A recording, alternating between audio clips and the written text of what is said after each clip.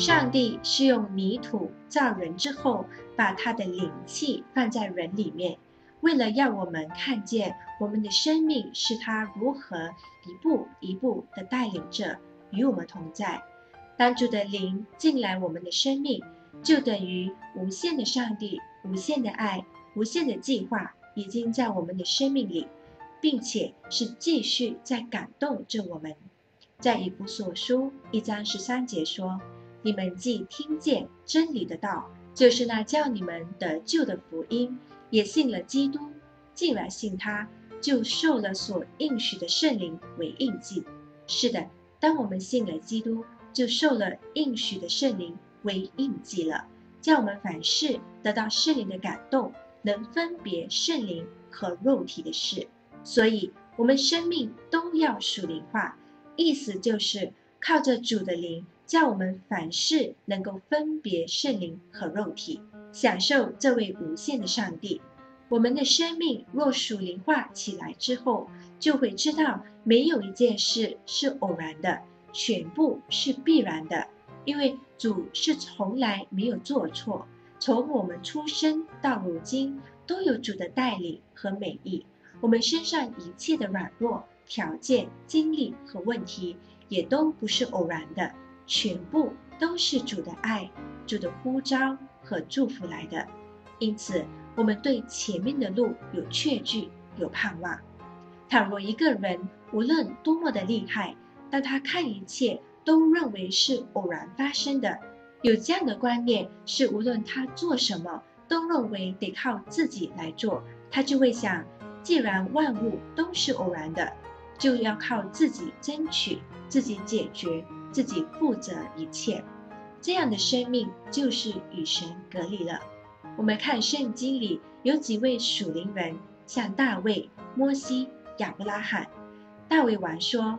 我将耶和华上帝常摆在我面前。大卫是让上帝完全掌权自己的生命，因此他的心欢喜，他的灵快乐，他的肉身能够在痛苦中安然。虽然大卫遇到的苦难比我们多，不过他把一切遭遇的事都属灵化起来，因此他得到的结果是不一样的。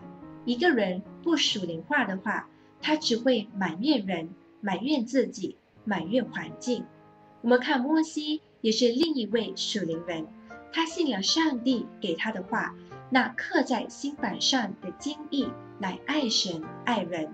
他因着信能够看见上帝，不是用肉眼看见上帝的，他乃是靠着心灵来看见上帝。所以摩西得到经历后，看回自己和以色列人过去的生涯，一切都是上帝的带领了。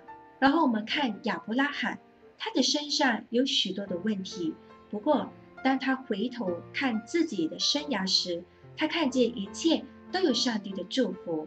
就如在创世纪二十四章那里，亚伯拉罕在一切事上都看见上帝赐福给他。今日我们也是一样，我们看回去的时候，会看见一切都有上帝的祝福。如果我们不属灵化，我们就会被世界的王欺骗。但耶稣基督已经坐在宝座掌权，圣灵也已经进来我们的生命了。所以我们要知道如何分别什么是属肉的事，什么是属灵的事。可是我们不要误解。不一定凡事成功顺利就是属灵的事，也不一定我们常常软弱遇到问题，我们就是属肉的。重要的是，我们要懂得如何分别什么是肉体和圣灵的事。那如何分别呢？最能将我们能够分别的，就是用儿子的心灵来判断、来查验、来享受上帝的爱。之后会发现。肉体的事才会越来越能死去的。这样分别后，我们要赶快趋向上帝的事实，不要给魔鬼留地步，然后信而顺从上帝的美意。所以，一个人一顺服圣灵的时候，他会有无限的自由。倘若不靠圣灵活的时候，他的生命一定会比之前更痛苦的。继续会得到暗示、控告，也继续得到倒霉的思想。